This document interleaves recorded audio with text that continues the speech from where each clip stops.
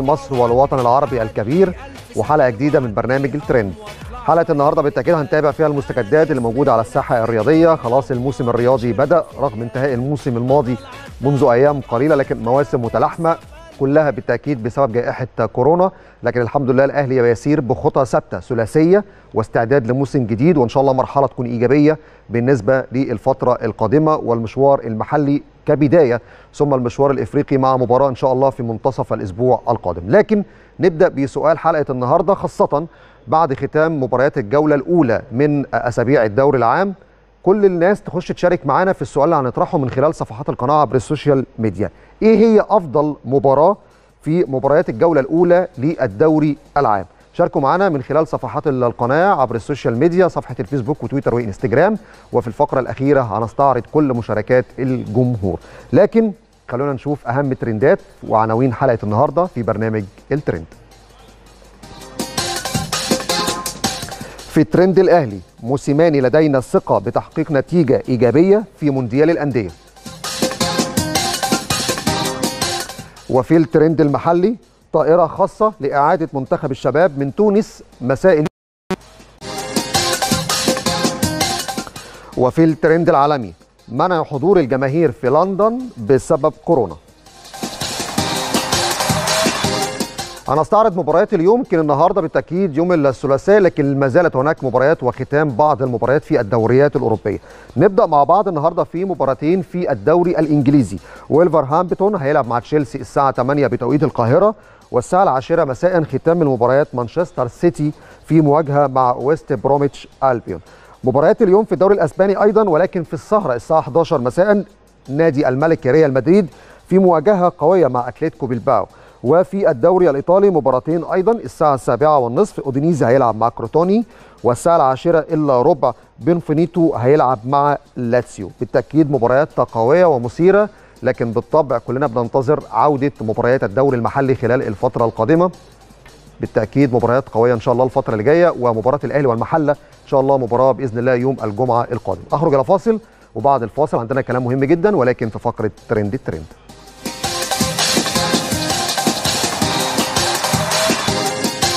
أهلا بحضراتكم من جديد وفقرة ترند الترند. طيب سريعا عشان وقتنا لأن عندنا كلام مهم جدا في هذه الفقرة تحديدا. أول حاجة متعلقة بمنتخب مصر للشباب. ما كنت أتمنى أقول هذا الخبر في هذا التوقيت لكن للأسف نتيجة ظروف كثيرة جدا ممكن نستفيد في الحديث فيها في حلقات أخرى قادمة. اللجنة المنظمة لبطولة شمال إفريقيا اعتبرت منتخب مصر خاسرا أمام المنتخب الليبي واعتبرت فوز المنتخب الليبي بسبب طبعا عدم وجود عدد مناسب بالنسبة للاعبي المنتخب الوطني للشباب في هذه المباراة.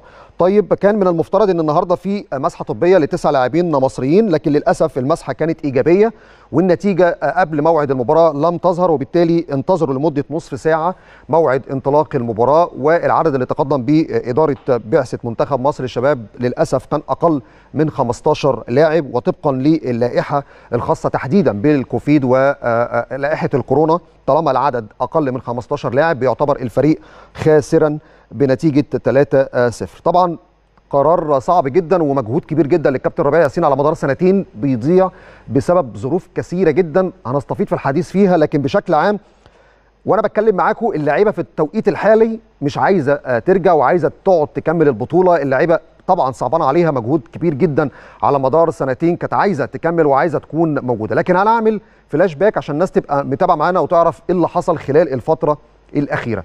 بداية الكابتن ربيع ياسين كان ليه طلب إن الفريق يسافر قبل موعد البطولة بحوالي أسبوع عشان يستعد لتصفيات بطولة إفريقيا المؤهلة لكأس الأمم اللي بالتالي هتكون مؤهلة أيضا لكأس العالم الفترة اللي جاية. المنتخب سافر لكن للأسف بدون رئيس للبعثة. بدون مدير إداري لأن المدير الإداري كان العينة بتاعته كانت إيجابية قبل السفر وبالتالي الفريق سافر بدون رئيس بعثة وبدون مدير إداري.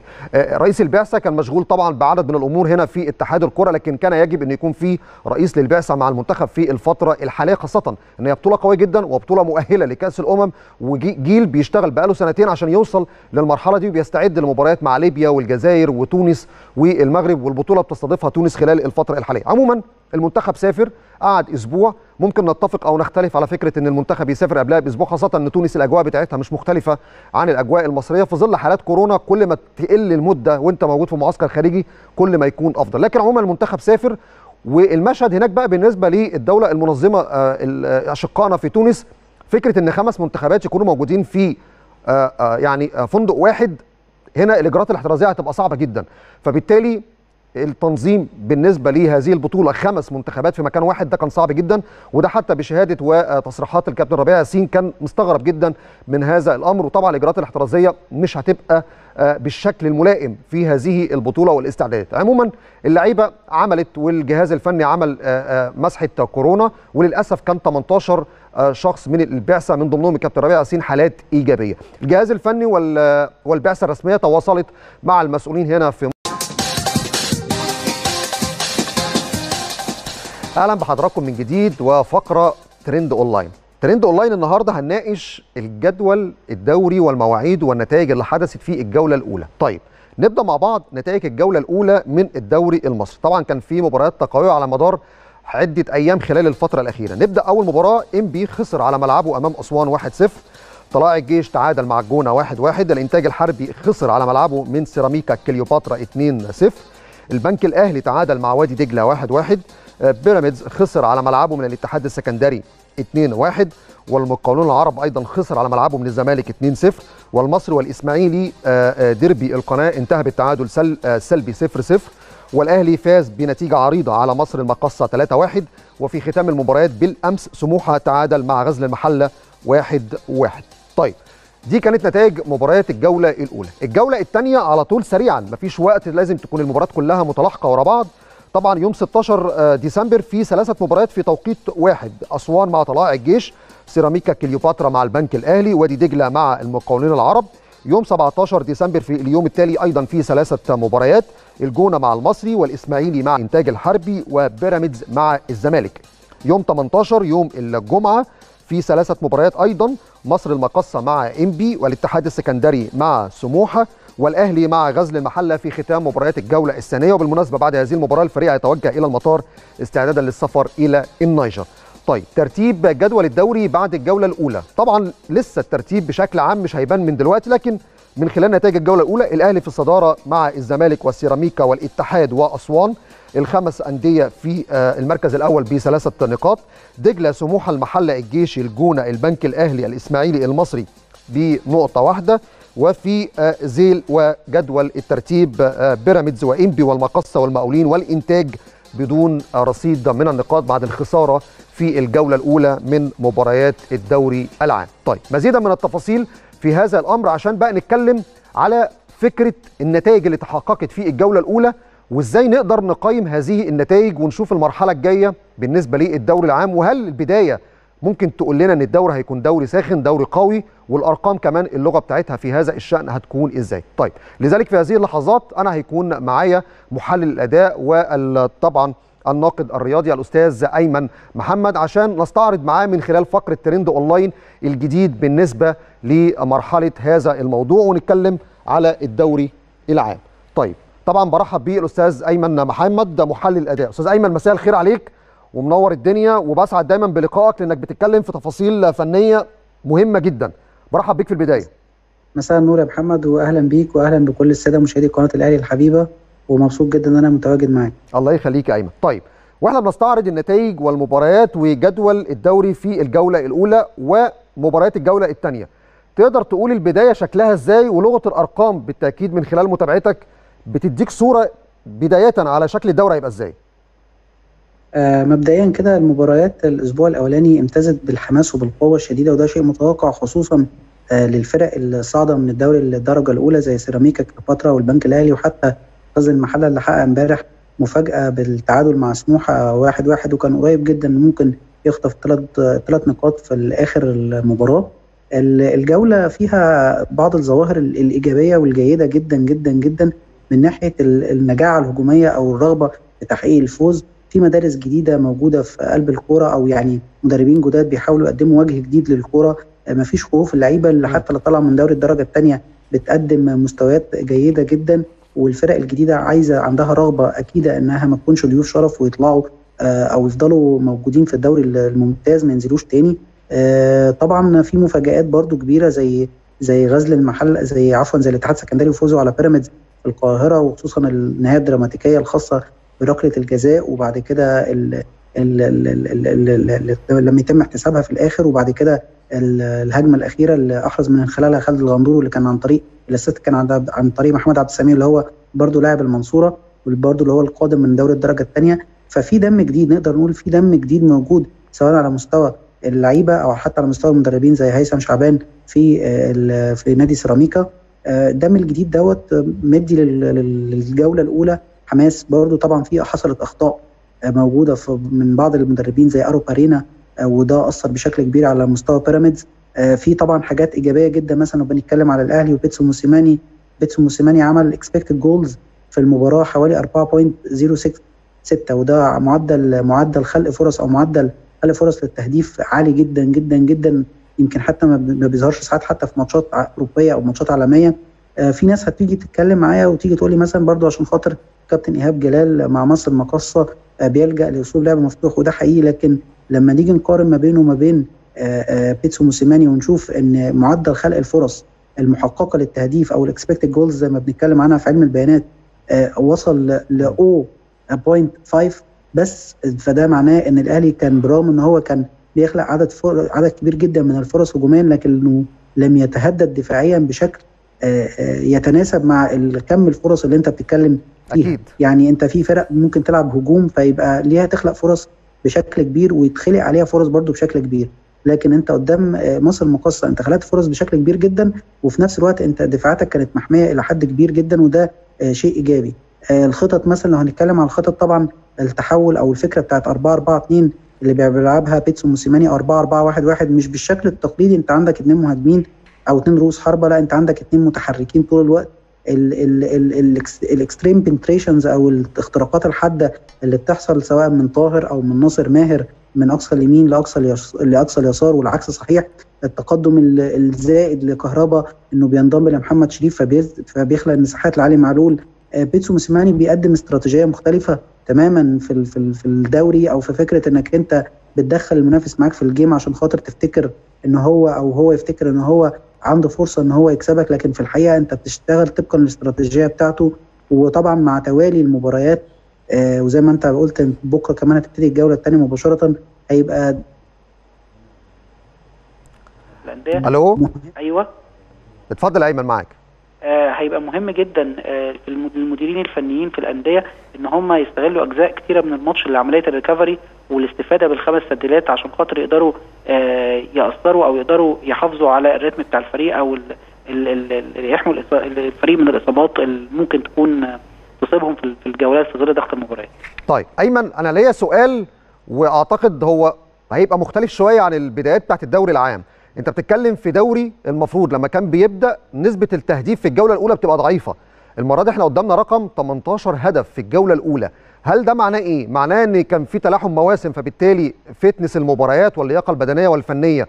خلاص ما بقتش فكرة إن هي ممكن يكون يعني سبب إن معدل التهديف مش كبير لكن البداية شايفها قوية. يعني شايف الجزئية دي إزاي؟ إن 18 هدف في أول جولة معناه إن اللعيبة كلها والفرق كلها في فتنس المباريات واللياقة الفنية موجودة.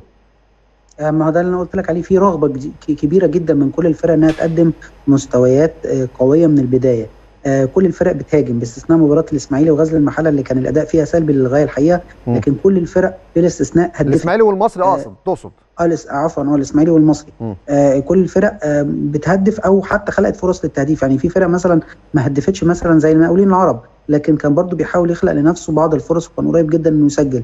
آه الأهلي طبعا سجل مصر المقاصة. زي ما إحنا قلنا هي حتى كرة واحدة برضو سجل منها اللي هي في الضربات الركنية. فكل الفرق عندها الرغبة الأكيدة في إنها تكسب وأصبح الشغل الهجومي أو الشغل الفكر الهجومي مسيطر إلى حد ما. وده متوقع ومقبول جدا خصوصا في البدايات لأنك أنت ما عندكش لسه حسابات النقطة. وطبعا اللي بيكسب وبياخد ثلاث نقاط في البدايات ده بيأمن مركزه. مثلا إذا كان فريق بي بي بي بيرغب في إنه يحافظ على بقائه في الدوري الممتاز أو إن هو يحاول يكون قريب من من المربع الذهبي أو من الخمسة أو الستة الكبار أو حتى في في الفرق المتنافسة على اللقب زي الأهلي والزمالك. طبعا البدايات بالنسبة لهم بتبقى مهمة جدا عشان خاطر إحنا شفنا السنة اللي فاتت مثلا الأهلي بعد 8 أو 9 أسبوع كان قريب كان بعيد جدا عن باقي. المنافسين. تمام. وده اللي أثر على فرص بقية المنافسين إن هم يحققوا أو يحاولوا إن هم يطردوه آه، في بقية المسابقه فالبدايات دايما بتبقى قوية جدا وكل الفرق بتسعى للفوز لذلك التحفظات الدفاعية بتبقى أقل كتير. أيمن محمد محلل الأداء أنا بشكرك شكرا جزيلا على هذه التغطية الرقمية والفنية للجولة الأولى وبالتأكيد الفترة الجاية هيكون لنا تغطية على معدل عدد من المباريات أطول ومع كمان انطلاق دوري أبطال إفريقيا منتصف الأسبوع القادم. بشكرك شكرا جزيلا وكل التوفيق ليك يا رب. شكرا جزيلا. كان لقاء مهم جدا مع الأستاذ أيمن محمد محلل الأداء لسه عندنا تفاصيل أكتر ولكن بعد الفاصل أهلا بحضراتكم من جديد وفقرة ترند الأهلي. نتكلم بقى أكتر على المحتوى اللي موجود عبر السوشيال ميديا عن النادي الأهلي والاستعداد بالنسبة لمباراة غزل المحلة. أول حاجة معايا من صفحة الحساب الرسمي للوطن سبورت على تويتر. نشروا إن محمد شريف هيقود هجوم النادي الأهلي أمام غزل المحلة. محمد شريف عامل مستوى متميز في مباراة المقصه وأدى بشكل رائع جدا تحركاته آه، مساحات اللي بيلعب فيها لعيب محوري ويقدر بيتسو موسيماني يعتمد عليه خلال المرحلة اللي جاية مع كهربا مع طاهر محمد طاهر مع قفشة مع عدد من اللعيبة. هيبقى عندك محاور هجومية ممتازة وبالمناسبة ألف مليون سلامة على ناصر ماهر. إن شاء الله يعود سريعا لأنه أحد الدعائم الأساسية واحد أبناء النادي الأهلي وألف مليون سلامة أيضا على جونيور أجاييه. طيب كمان معانا من حساب سبورت 360 مصرية بيتكلموا بقى على نجوم خلف التوقعات وتألقوا مع بيتسو موسيماني. أبرزهم طبعا محمد مجدي قفشة. أنتوا بتتكلموا في فكرة التحليل الفني. قفشة من اللعيبة اللي اتطور أدائها بشكل كبير جدا مع النادي الأهلي وحاليا هو أفضل لعيب بيجيد رقم 10 في مصر بفضل تحركاته الذكية وتمريراته الرائعة. أيضا كمان بنتكلم على كهربا والحلول الهجومية مع النادي الأهلي وكهربا أيضا كمان الفترة الأخيرة بيثبت وضعه ومكانه في التشكيلة الأساسية بحماسه وبروحه وأيضا كمان مع ادائه الفني. والجزء الثاني أو الجزء الثالث متعلق بالناحية الدفاعية أداء أيمن أشرف في خط الدفاع والتأثير القوي لوجوده في دفاع النادي الأهلي ايا كان مين اللي بيلعب بجواره؟ سواء سعد سمير رامي ربيعة بدر بنون ياسر إبراهيم أيمن مستواه ثابت وبيأدي الواجبات الدفاعية منه بشكل كويس. طيب نروح لحساب آه، بطولات على آه، تويتر. نشروا إن اتحاد الكرة يبدأ التحرك لاستخدام حكام أجانب لمباراة الأهلي والزمالك. هذه المباراة إن شاء الله هتكون موعدها. يوم 28 ديسمبر. آه، طبعا في نهاية هذا الشهر وحاليا اتحاد الكورة ولجنة الحكام بتخاطب عدد من الاتحادات خاصة في أمريكا الجنوبية والشمالية لإدارة المباريات القادمة. وتحديدا مباراة القمة بين الزمالك والأهلي واللي غالبا بنسبة كبيرة هتلعب وستقام على استاد برج العرب. ده بشكل عام المحتوى الموجود عبر السوشيال ميديا بالنسبة لترند الأهلي. أخرج إلى فاصل وبعد الفاصل لسه مكملين مع حضراتكم باقي فقرات برنامج الترند. أهلا بحضراتكم من جديد والفقرة الأخيرة من برنامج الترند. الفقرة الأخيرة بقى الترند العالمي لأن الترند العالمي خلال الساعات الأخيرة كان في جدل بخصوص فريق الأحلام أو اختيارات ال France Football اللي تمت خلال الساعات الأخيرة. أبدأ أول حاجة معايا طبعا من الحساب الرسمي ل France Football على تويتر. نشروا تشكيل فريق أحلام الكرة الذهبية. طيب ركزوا معايا. في حراسة المرمى الإيطالي بوفون. في خط الدفاع كافو باولو مالديني وفرانس بيكنباور. في وسط الملعب أندريا بيرلو وتشافي زين الدين زيدان دييجو مارادونا. طبعا وفي الهجوم آه، ميسي وكريستيانو رونالدو ورونالدو الظاهرة مهاجم طبعا البرازيل. طيب هنا كان في طبعا تعليق لصامويل إيتو وإحنا بنستعرض طبعا تشكيل فريق الكرة الذهبية. مفيش ولا لاعب إفريقي في فريق الاحلام لدرجة حتى إن صامويل إيتو وديدي دروجبا قالوا وإحنا كنا بنلعب سباحة أو بنلعب تنس ما بنلعبش كورة. إزاي يعني فريق أحلام الكرة الذهبية وفي الكرة العالمية مفيش ولا لاعب إفريقي وإيتو وأيضا كمان ديدي دروجبا كان لهم تأثير كبير جدا في الكرة الأوروبية من خلال رحلة احتراف في الأندية الكبيرة في الدوريات الأوروبية. فبالتالي دي اختيارات ال France Football ومن خلالها ظهرت هذه الأسماء. طبعا ديجو مارادونا وأسماء كبيرة لا تعليق عليها لكن على الأقل كان ممكن يكون موجود صامويل إيتو أو دي دي دروجبا طيب نروح لحساب كريستيانو رونالدو على تويتر وبيتكلم إن هو بيشرفه بالتأكيد إن يكون جزء من فريق الأحلام من France Football Football. يا له من فريق أحلام مذهل. كلهم يستحقون احترامي وأنا فخور بوجودي بين هؤلاء اللاعبين الاستثنائيين. شكرا جزيلا. طيب نروح كمان للدوري الإنجليزي من خلال ال BBC Sport على آه، تويتر واللي بيقولوا إن الجماهير لن آه، تحضر المباريات في لندن اعتبارا من غدا الأربعاء في الدوري الإنجليزي بسبب انتشار فيروس كورونا طبعا الرابطة كانت اتخذت قرار بحضور عدد محدود من الجماهير في مباريات البريمير ليج لكن طبعا بسبب تفشي وباء فيروس كورونا في لندن تحديدا فبالتالي كان في صعوبة على بالنسبة للفرق إن يكون في حضور جماهير. طيب نروح لمشاركات الجماهير بخصوص السؤال اللي طرحناه في بداية الحلقة وهو متعلق بأفضل مباراة في الجولة الأولى من مباريات الدوري العام. حمدي عماد بيقول الاتحاد وبيراميدز والأهلي والمقصة. محمود جمال بيقول الاتحاد وبيراميدز. صلاح إبراهيم طلبة بيقول الاتحاد وبيراميدز. نشوف مشاركات أخرى وآراء للجماهير. يوسف كمال بيقول الاتحاد وبيراميدز كانت من أقوى المباريات محمد إمام بيقول سيراميكا والإنتاج أحمد إكس بلاك بيقول الأهلي والمقصة في كذا رأي على كذا مباراة وده شيء مميز محمد ممدوح بيقول بيراميدز والاتحاد. منة الله بتقول الاتحاد وبيراميدز. هاني محمد دعشوش بيقول الأهلي والمقصه طيب دي كانت عينة وبعض آراء من الجماهير بخصوص أفضل مباراة في الجولة الأولى من مباريات الدوري العام. إلى هنا أصل لختام برنامج الترند. أشكر حضراتكم بالتأكيد على حسن المتابعة والمشاهدة ونلتقي على خير بإذن الله في حلقات جديدة من برنامج الترند. شكرا وإلى اللقاء.